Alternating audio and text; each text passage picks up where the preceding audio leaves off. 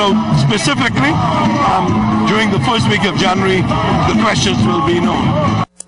Now, it's expected that National Security Minister Dr. Bernard Nottage will make the questions public during a nationally televised address. Prime Minister Christie says, however, that he was not aware of this, but noted that if Mr. Nottage does, it would reach the widest cross-section of Bahamians. I mean, um, the minister didn't indicate to me that he was doing it. I mean, um, the minister didn't indicate to me that he was doing it. I mean, um, the minister didn't indicate to me that he was doing it. But I guess if he, if he has decided to do it, um, the, the, minister has the charge of the regulations and the process. And so he obviously has to decide on how to communicate to the Bahamian public exactly what they're going to do. So I think that's what he wants to do is to get the widest possible um, information out as quickly as possible. And so if he's elected to a national broadcast, bless him.